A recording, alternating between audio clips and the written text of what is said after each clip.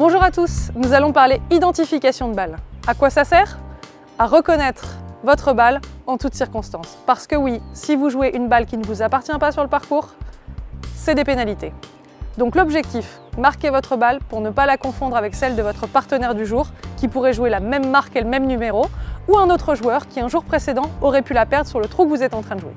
Alors, on s'équipe d'un marqueur indélébile, on fait son petit dessin. Voilà.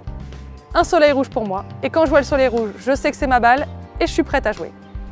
Donc maintenant, à vous de laisser votre empreinte sur la balle et sur le parcours. Bonne partie